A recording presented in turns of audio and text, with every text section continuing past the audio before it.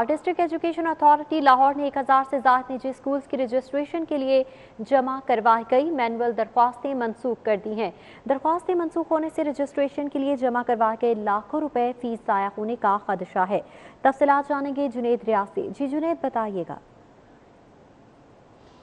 अजी, लाहौर में एक हज़ार से जायद निजी स्कूलों की मैनुअल तरीके से रजिस्ट्रेशन का मामला जो है वो तकरीबन एक साल से अल्तवा का शिकार है, क्योंकि हुकूमत की जानब से रजिस्ट्रेशन को ऑनलाइन कर दिया गया, लेकिन मैनुअल तरीके से जो एक हज़ार से जायद दरखास्तें, डिस्ट्रिक्ट एजुकेशन अथॉरिटी लाहौर के पास पेंडिंग पड़ी हैं,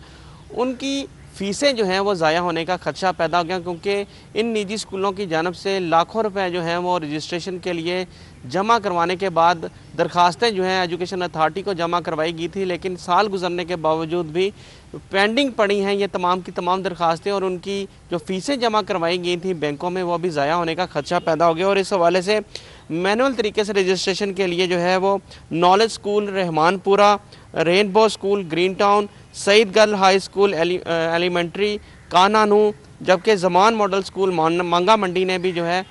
मुराद रास को दरखास्तें जमा करवा दी हैं कि उनको रजिस्ट्रेशन जो है वो मैनुअल तरीके से जारी की जाए क्योंकि वो पहले से फ़ीसें जमा करवा चुके हैं और दूसरी जानब जब वो ऑनलाइन दरख्वास्त जमा करवाते हैं तो उसके लिए उनको दोबारा से जो है रजिस्ट्रेशन की फ़ीस जो है वो पे करना पड़ती है और तकरीबन पचपन सौ जो है वो प्राइमरी और मिडिल स्कूल के लिए रजिस्ट्रेशन के लिए जबकि हाई स्कूल के रजिस्ट्रेशन के लिए आठ हज़ार रुपये जमा करवाना पड़ते हैं और रजिस्ट्रेशन की तारीख भी